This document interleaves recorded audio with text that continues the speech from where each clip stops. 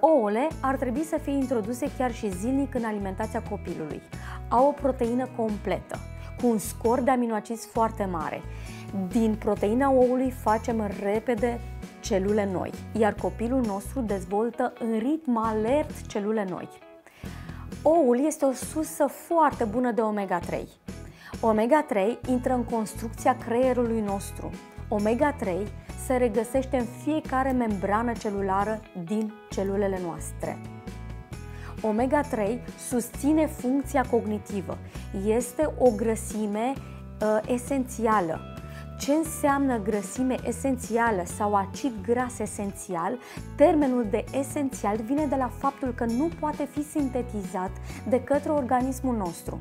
Adică omega-3 e hrană pentru creier, dar eu îl pot lua doar din mâncare. Organismul meu și organismul copilului tău nu are capacitatea de a sintetiza omega-3.